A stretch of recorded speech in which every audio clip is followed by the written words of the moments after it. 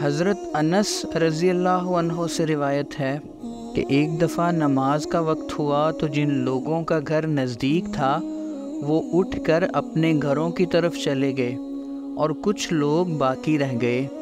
तो रसूलुल्लाह सल्लल्लाहु अलैहि वसल्लम के पास पत्थर का एक लगन लाया गया, जिसमें कुछ पानी था। वो लगन छोटा था। आप उसमें अपना हाथ ना फैला सकते थे। सब लोगों ने वज़ू किया। हमने कहा, तुम कितने थे? तो कहा, अस्सी से कुछ ज़्यादा।